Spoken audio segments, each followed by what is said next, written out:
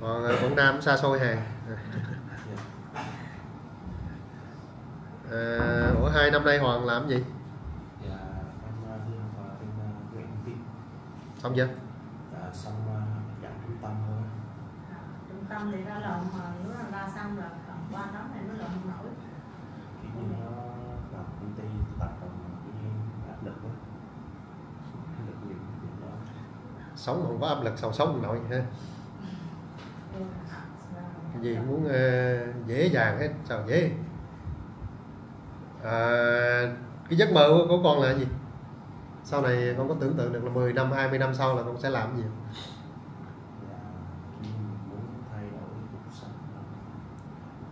Thay đổi vô Sài Gòn sống là thay đổi rồi cần gì đâu phải đi xa lắc vậy.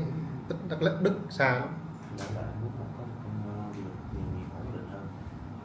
Ổn định hơn. Như thế nào là ổn định hơn? Ở Việt Nam mình đã có đã có việc đâu mà ổn định.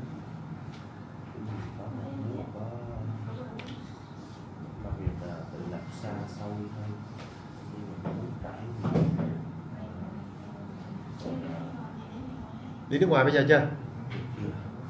Đi Sài Gòn được mấy lần rồi? À lần đầu tiên hả? Sao ờ, từ Quảng Nam ra Đà Nẵng là thấy Quảng Nam nó nhỏ chưa? Đà Nẵng vô Sài Gòn thấy Đà Nẵng nhỏ không? Đúng không? Cái tầm nhìn của mình nó sẽ mở rộng ra như vậy. Ví dụ như con bước qua những cái nước khác, ví dụ như sau này con bước, nếu mà con giỏi, con học được tiếng Đức thì con qua Đức thì con sẽ thấy là Việt Nam mình nó nhỏ bé lắm. Cái cái tầm nhìn của mình nó mở rộng ra khi mà con đi nhiều hơn.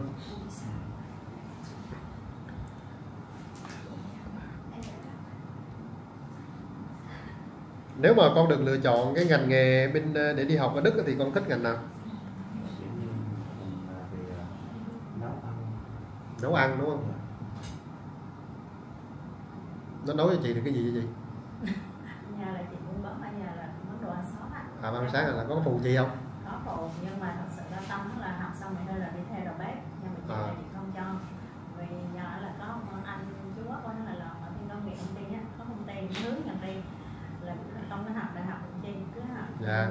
xong rồi ra là đi làm dân nhưng mà cuối cùng ờ, không không không là thua. À, học xong rồi chờ vô lòng mới đưa vô công tác thì lòng khai đó thử việc á học nghề là thì chịu vô áp lực nó không được. Thì con không đi bếp. Chị nói chung là khi mà con không quá đam mê thì nó giống như tra tấn vậy thôi. Cái kiểu là sống qua ngày á. Là chị chị thì cũng biết cái trang của em làm tại vì phút đó là cháu mất đi học công nghệ tin. Chị có hướng tiền mình ra đi nước ngoài tại vì nhà chị thì cũng ít con quá. Dạ. À, nhưng mà sau này chị thấy nhiều đứa đủ ra thì thấy không không học thì thấy tình hình như cái gì hướng là cái cách đó. Nếu mà không đi đầu bếp thì nó không xem mà chỗ đất đất để được không đầu bếp thì học ở đâu cũng được. Ờ, Việt Nam mình cũng có nhiều mà. Công việc sau này em đã tương lai á.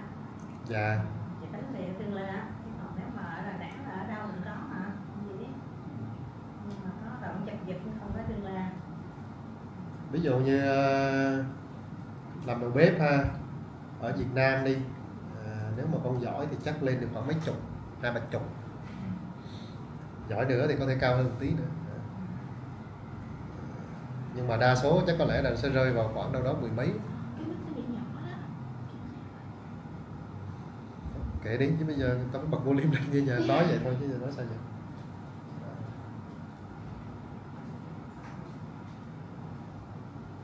thì như thầy nó ở thành số học gì đấy dịch thì nó ở cấp xem tới hôm nay giờ nó lấy vợ nó cho nhanh đi chứ thấy coi nó nó cái kia mệt quá. Thầy xem giúp được. Kiếm vợ vợ khá khá tí vợ nuôi để khỏe không? Đỡ, đỡ đứt điếc mệt. Học nhức hết cả đầu. Có người yêu chưa? Chưa. Trước giờ yêu ai chưa có có à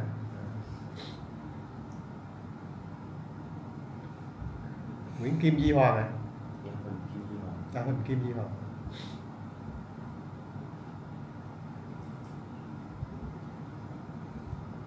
Đoạn này thì ờ, khoảng 20 ờ, Đoạn này cái chỉ số độc đáo này. nó có học được không Học được. Các cái chỉ số này biểu đồ tên này là thực ra do chị đặt chưa đúng nơi thôi chứ nó có tư duy mà. À, sức khỏe tốt nè. À, cuộc sống tình cảm. Có theo đạo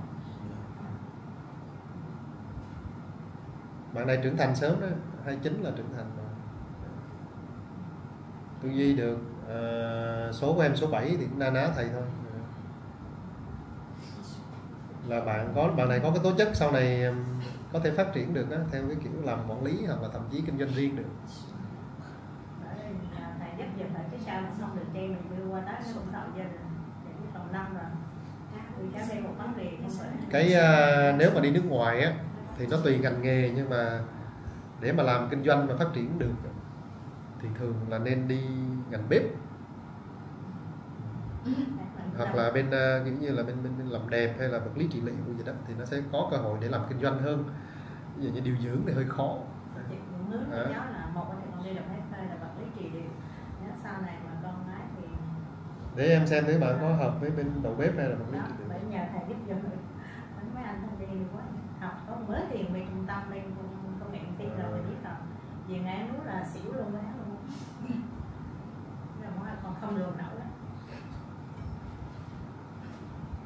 cái đầu vô thì có người nhận nó không lường nổi không chịu Đầu bếp không cực. đầu bếp á, là cái nghề đó thì cái giờ giấc nó sẽ hơi khắc nghiệt với em. Bởi vì nhiều khi là mình phải làm tối nè cuối tuần nè lễ nè. Còn cái nghề vật lý trị liệu á, thì cái giá là ở đây là con học nó cũng sẽ vất vả hơn. Vật lý trị liệu nó có hai loại một loại là con học một năm rưỡi cái đó thì học nhanh hơn. Còn cái loại mà học bài bản là 3 năm à, và cái B2 tiếng Đức là. Đấy. thì cái đó nó thiên nhiều về làm vật lý trị liệu phục hồi chức năng á, làm ở các cái trung tâm sức khỏe các cái bệnh viện còn bên đầu bếp thì sẽ làm chủ yếu là cho nhà hàng hoặc là các khách sạn. Khách sạn thì nó có mấy cái nhà hàng trong khách sạn á, thì làm cho họ.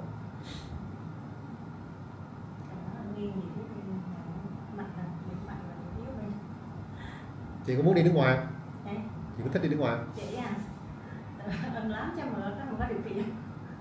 Thực ra nếu mà mà để mà có thể tận dụng được chị luôn á thì bạn này nên học bếp. Vì sao khi mà con tốt nghiệp xong á con có công việc làm ổn định đó, con bảo lãnh bố mẹ qua được thì dạ. lúc đó là chị đi làm luôn cái bên bếp ví dụ chị đâu cần phải biết tiếng gì đâu chị làm cho người việt á. Ví dụ như ở ngoài order vô là xào thì thấy em thấy nó cũng đơn giản mà. Ví dụ như là uh, cậu em có mấy cái nhà hàng mà hoặc là có mấy cái cái xe á. Có ông ông uh, đứng uh, lấy lấy tức là ví dụ như mì xào bò tấp vô xào xào xào xào xào xào tám đồ nó dễ kiếm tiền. lắm. Bán được của chị. Rồi chị muốn quán đồ ăn xóm đồ ăn nha. Chị, Chị bán món gì? thì bún mì đồ ăn xóm buổi sáng á. Thì cái đó được mà cái đó dễ mà. Đó là chị thấy cực quá. Chị mới không cho theo chị hướng đi công nghệ thông tin thì coi. Nó nghề đầu bếp là ví dụ những ngày họ nghĩ là con cực. Không phải là ăn không ăn chị đừng ờ, có coi thường cái nghề bếp này nước ngoài nhiều tiền lắm. Ví dụ như con bán cái đồ ăn trưa á ăn sáng á nó nó rất là khỏe mà, mà khỏe là chỉ là làm một ca ca ban ngày Đấy. tháng thu như tháng mấy chục ngàn là bình thường mà không có gì đâu. Cái đầu giờ đâu học được cái tệ hóa. Có bị ra con đi ra đấy chạy con không được được. Cái gì đũa trời mất mất mới tiền mà còn đũa thừa nó nào xỉu.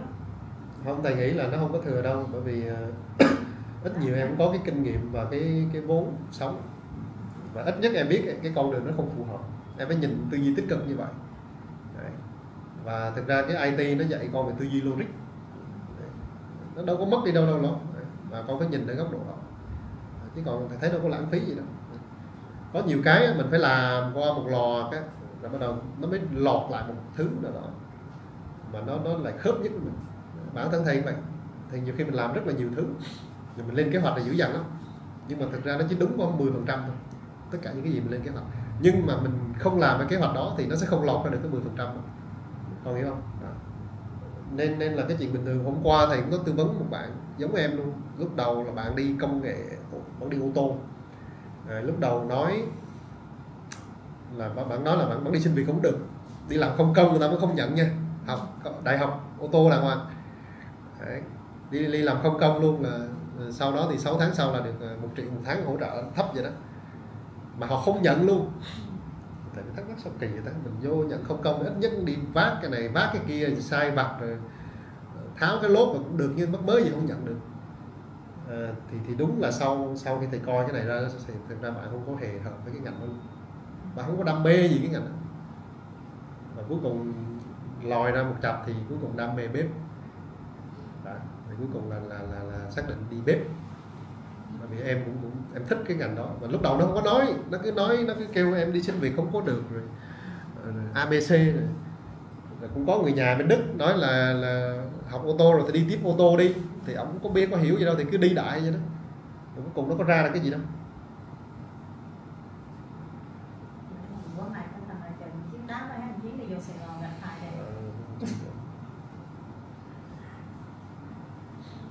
Nếu hai nghề về mặt vật lý trị liệu và ngành bếp á cái ngành mà dùng tư duy nhiều hơn theo con là ngành nào? Bếp tư duy nhiều hơn cái vật lý trị liệu nó có công thức và có công cụ hỗ trợ. Bếp ví dụ mình làm ví dụ như cái món à, bún thịt nướng đi. Nó rất nhiều cách để làm mà. Nó sáng tạo cái đầu mình cũng phải hoạt động. Rồi bây giờ mình làm sao cho nó lời mà nó vẫn không giảm chất lượng. Đó, làm sao mà người ta à, ví dụ như là người ta ăn nhiều hơn người ta sẵn sàng trả tiền nhiều hơn cho mình mà người ta vẫn không có hạt phàn nàn nó phải tư duy. Đấy thì thầy nghĩ là em đi bếp đi nó hợp hơn rồi sau này ờ, nó sẽ mở ra cái con đường cho mẹ nữa ví dụ như sau này con giỏi con vô quốc tịch con mở tiệm đi. Đấy thì thì thì mẹ mẹ trong con ngoài con biết tiếng mà thì con ngoài. Là thậm chí là, là, là nó có nhiều cách lắm. Cái cái kinh doanh đó, nó phải bắt đầu từ cái nghề. Và đối với bên nhà hàng á, thì nên bắt đầu từ cái bếp. Nó đơn giản thôi bởi vì mình mình mình thay nhân viên phục vụ nó dễ lắm. Nhưng thay cái ông đầu bếp rất khó. Đúng không? Chị thay cái bếp là thay công thức thay tùm lum tà la mệt lắm. Đúng rồi với bản thân nhiều khi cái, cái nó nó thành cái, cái nó thành một cái thứ mà khách họ đã quen cái vị đó rồi. Cái tự nhiên chị thay một cái đầu bếp khác là ông nêm kiểu khác. Không bao giờ mà trừ trường hợp kiểu làm công nghiệp như KFC rồi thì nó mới giống giống nhau thôi chứ còn lại kiểu làm gia đình là nó sẽ bị khác vị liền chị nêm đường anh cũng nêm đường khác em nêm đường khác Đó.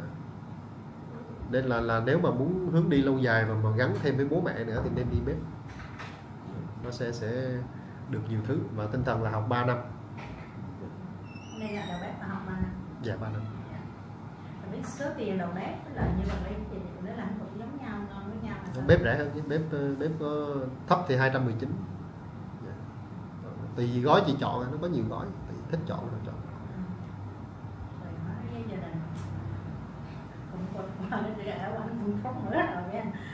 Không bình thường mà chị bởi vì thực ra cái việc mà mà mà mà, mà mình chưa xác định được cái ngành nghề hoặc là chưa xác định cái gì đó cuộc đời mình nó bình thường lắm. Bản thân em em nói thiệt là em phải tới 27 28 em mới xác định được. Cho dù em là em học luật rồi em đi làm luật nhưng mà thực không phải là cái gì cả nhưng mà mình xác định thực sự mình mong muốn cái điều gì và tại sao mình là sinh ra trên cái đời này đó, đó. những cái đó nó, nó khó tìm lắm. Và những cái đó đôi khi em phải có cái sự va chạm có sự trải nghiệm thì em mới ngộ ra được.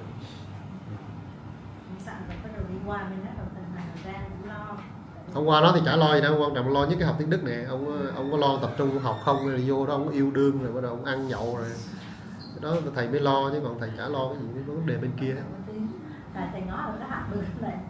Xem thầy có học được nó có, có vấn đề gì về sức khỏe hay là vấn đề gì nhận thức mà không học được ai học cũng được hết á. Hồi nãy thầy đã nói rồi là 90 phần trăm là học không được đâu là bởi vì nó không hợp. Là chuyện bình thường mà ngôn ngữ mà ai chả vậy. Chẳng qua là giờ chỉ có cày cuốc cố gắng. Đấy. nhưng mà khi mình làm gì cũng vậy mình phải nên tư duy trước khi mình làm. Ví dụ như mình sẽ suy, suy nghĩ này. Cũng cái số từ vựng đó bây giờ làm sao mình học nó hiệu quả nhất con phải tư duy, suy nghĩ này hoặc là con tìm kiếm những cái phương pháp rồi con thử, rồi sau đó con mới nên học. Chứ đừng có bao giờ nhảy vô là học A là B, A là B B là C, đừng học cái đó. Là con làm thủ công này. Có nhiều cách nó khỏe hơn nhiều mà. Thì cái đó con phải động não và tư duy. Nên tại sao người ta nói là khi mà mình làm việc đầu óc nó khỏe hơn nhiều so với việc dùng tay chân nhiều? Bởi vì mình suy nghĩ cái cách nào đó cho nó vừa nhanh vừa hiệu quả mà vừa ít tốn sức chứ. Thì cái đó cái não em nó phải hoạt động. Chứ đừng có bao giờ chờ. Chờ người ta chỉ ai biết cái vấn đề của con đâu mà chỉ. Trừ trường hợp là con phải nói ra. Như học ở trung tâm thì có những lúc mà nó sẽ khó khăn này kia thì con phải nói ra với thầy cô. Để người ta biết đường mà hỗ trợ những cái âm âm im im rồi chống đối chống phá rồi thì, thì sao được. Và nguyên tắc của thầy cô đâu có ai muốn là em, em học rớt đâu học nhanh để cho em đi sớm giữ lại trung tâm làm gì cho tốn tốn cơm, tốn gạo của bố mẹ. Đúng không? Nào, có câu hỏi gì không?